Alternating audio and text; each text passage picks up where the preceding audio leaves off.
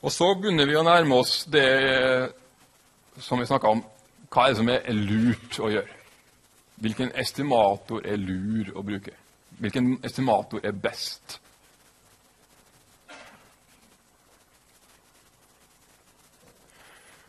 Jeg, når jeg skal estimere eh, Hvis jeg ser på høyde på menn igjen, da Jeg tar det om igjen. Er interessert i å estimere forventet høyde på menn på UMB. Det er populasjonen min. Jeg kunne ha observert alle hvis jeg fikk alle til å stille opp og bli målt, men det er praktisk vanskelig. Så derfor tar jeg ti personer, observerer høyden på dem. Det er mitt utvalg. Jeg får et utvalgsgjennomsnitt på la oss si 1,78 cm. Den første personen jeg observerer, han er 1,85. Forventet, eller Forventninga til første person som vi observerer, den er mye. Alle observasjonene har forventning mye. Og det er den ukjente parameteren jeg er ute etter å si om. Forventninga til utvalgsgjennomsnittet er også mye. Så jeg kunne brukt to forskjellige estimatorer. Jeg vil ønske å si noe om my. Jeg lager en my-hatt. Jeg kunne brukt den første personen jeg observerte. Han er min estimator. Han var 1,85, så det blir mitt estimat på mye. Mens en annen estimator det er utvalgsgjennomsnittet. Jeg tror nesten alle er enige om at det er lurere å bruke utvalgsgjennomsnittet enn høyden på første person jeg observerer, når jeg skal si noe om forventa høyde på menn på UMB. Enig? Det er fordi vi observerer flere og kombinerer mer informasjon. Så den utvalgsgjennomsnittet er en bedre og lurere estimator enn høyden på første person. Og hvorfor er en lurere? Det skal vi se på. Forventning og varians til estimatorer. Jeg sa tidligere at en estimator er en tilfeldig variabel, fordi den avhenger av hva du dytter inn. Altså, den har en forventning, og den har en varians.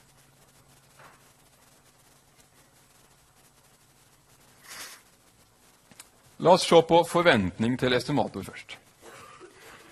Og et, et, begrep som vi skal bruke en del nå, det, heter, det kalles forventningsretthet. Eller en forventningsrett estimator. Så forventningsrett det er en egenskap ved en estimator som vi skal fokusere på først. La oss tenke oss at vi skyter blink på skytebanen. Vi ønsker å treffe sentrum i blinken. Og så skyter vi skal vi se, 2, 4, 6, 8, 10, 12, 14 skudd. Og så ender på en måte eh, skuddsalva vår slik som det er. Da treffer vi systematisk feil. på en måte. Vi bommer systematisk. Vi har en skeivhet i rifla vår. Og da ville vi ha skrudd på siktet vårt for å justere for det. For vi tror egentlig ikke at vi skyter tilfeldig 14 skudd litt opp til høyre for blinken. Men vi skyter egentlig veldig bra, sånn eh, variasjonsmessig. Vi er stø på handa, men vi har en systematisk feil. Og Sånn er det også når vi skal drive statistisk estimering.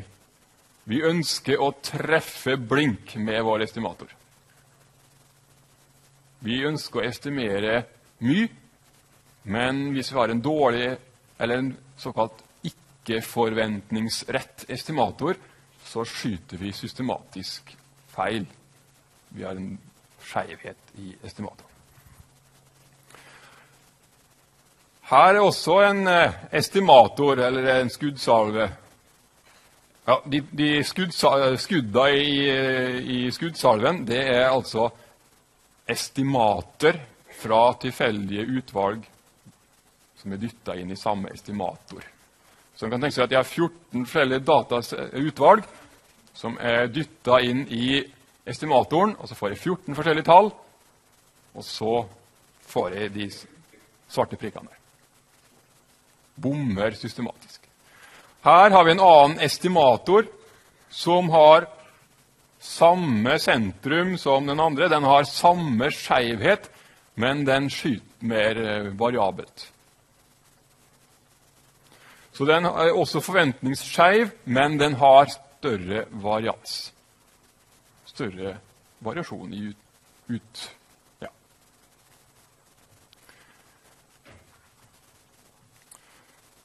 Her til nede til venstre har vi en tredje estimator som har like stor variasjon som nummer to, men den skyter i gjennomsnitt blink. Den er såkalt forventningsrett. Vi trenger ikke å skru på siktet. Vi, vi treffer sjelden blink. Vi treffer én gang, ser du. Vi har truffet én gang blink. Men stort sett så bommer vi, men i gjennomsnitt så treffer vi blink. Men den har litt stor variasjon. Og den aller beste estimatoren av de fire her, det er den nede til høyre der. Den er forventningsrett. Når vi bruker den estimatoren, så skyter vi i det lange løp blink, og vi har liten variasjon. Estimat, de to estimatorene som jeg snakka om tidligere i dag, det var for å estimere forventa høyde på menn på UMB. Det var ene var å bruke høyden på første mann, og det andre var å bruke gjennomsnittet av ti. Begge to har forventning mye. Så vi er i nedre rad her. Begge er forventningsrette, men å bruke bare én observasjon som estimator eller som grunnlag for estimat, har stor variasjon. Så her på en måte situasjonen, Hvis jeg sier at my hatt er lik x1, da er vi her. Hvis jeg sier heller at my hatt er lik gjennomsnitt av x, da er vi her. Estimatoren har mindre variasjon. Akkurat som vi snakka om forrige gang, at variasjon til et gjennomsnitt er mindre enn variasjonen til en enkelt observasjon.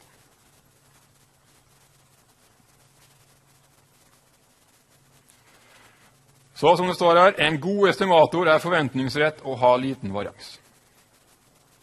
Det er de estimatorene som vi ønsker å bruke i statistikk. Eller i alle fall ofte.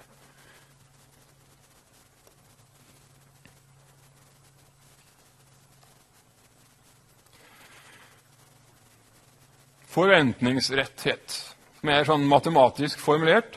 Så hvis vi har en eller annen parameter, og her har vi en uh, gresk bokstav som Vi har vel ikke møtt den før i dag. Den er i år. Den heter tetta. Det er en ny gresk bokstav. Og den representerer nå enhver ukjent parameter. Så det kunne vært my, det kunne vært sigma, det kunne vært p, eller et eller annet. Og vi har en estimator som heter tetta hatt. Det er den matematiske regelen vi bruker. Hvis forventninga til tetta hatt er lik tetta, da har vi en forventningsrett estimator.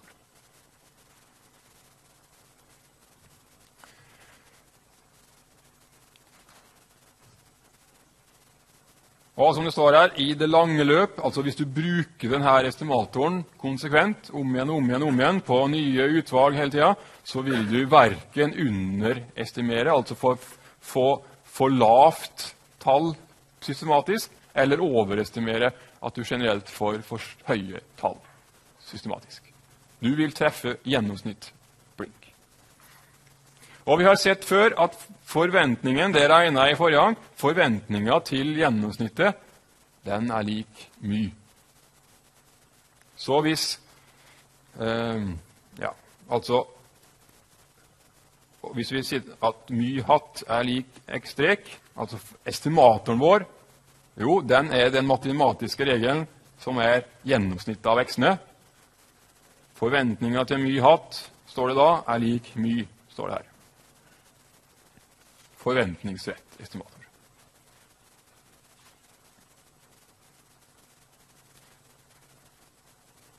Henger med? Ja Håper det.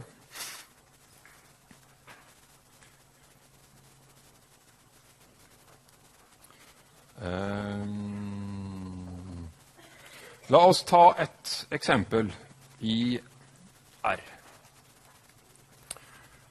Her er R-kommander. Nå skal jeg bruke grunnprogrammet som heter R, som ligger bak. Men eh, jeg har laga en liten snutt her som vi skal kikke på. Og Skal vi se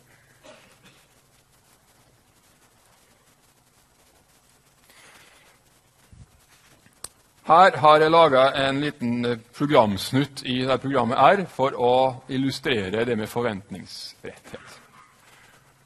Her oppe øverst så har vi et tilfeldig utvalg av en tilfeldig variabel x. Jeg har ti observasjoner, og den røde streken som er her, det er det observerte gjennomsnittet av de ti.